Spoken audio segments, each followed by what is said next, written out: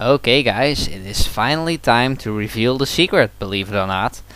I'm really excited about this. Because uh, actually tomorrow is my last day of school and that means um, tomorrow the first episode of that secret LP will go up. So what LP is that gonna be? I am going to reveal it to you right now. Let's look at the clues, shall we? Okay, so um, first let me let me go through um, for the uh, comments you guys sent me. Um, a lot of you guys uh, thought it was The Legend of Zelda Wind Waker. Is it The Legend of Zelda the Wind Waker? No, it is not. Sorry for the epic no, I had just had to do that. I know Chucker Conroy is awesome, I just had to use the epic no.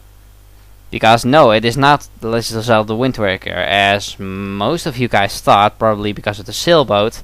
It is also not Majora's Mask, or a Pokemon game, or Phantom Hourglass, and that's pretty much all of the games that you guys um, thought it was.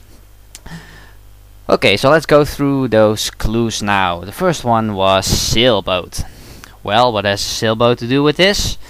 Uh, that's probably why you guys thought uh, this it was going to be Wind Waker, but I wasn't actually talking about the sailboat because I was actually talking about the water. Yes. Um, then our second clue uh, moon. And I wasn't talking about the moon either, I was talking about uh, kind of like the opposite, the sun. So we have uh, water, uh, we have water, and we have the sun, and we have our third clue, which was the Pokemon Wartortle. Um, uh, maybe a little bit tough, but uh, actually, the Pokemon Wartortle in the National Pokédex, he is number 8. And the game we're going to do is, believe it or not, 8 years old. So we have a game with water, we have a game with sun, we have a game that's 8 years old.